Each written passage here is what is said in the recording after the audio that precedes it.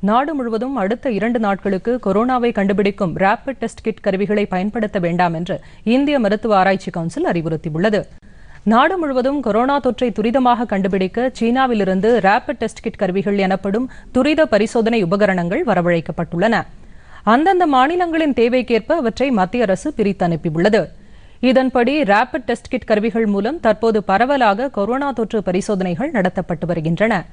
இந்நிலையில் பரிசோதனையில் மாறுபட்ட முடிவுகள் வருவதாக ராஜஸ்தான் மற்றும் குஜராத் அரசுகள் புகார் தெரிவித்துள்ளதால் ரேபிட் டெஸ்ட் கிட் கருவிகளை அடுத்த இரண்டு நாட்களுக்கு பயன்படுத்த வேண்டாம் என்று இந்திய மருத்துவ ஆராய்ச்சி கவுன்சில் கேட்டுக் கொண்டுள்ளது. தில்லியில் இன்று மாலை செய்தியாளர்களை சந்தித்த ஐசிஎம்ஆரின் தலைமை இயக்குநர் Gangakhedkar rapid test kit கருவிகளின் செயல்பாடுகள் குறித்து நிபுணர்கள் ஆராய்ந்து வருவதாகவும் எனவே அடுத்த இரண்டு நாட்களுக்கு இந்த கருவிகளை பயன்படுத்த வேண்டாம் என்றும் கேட்டுக்கொண்டார்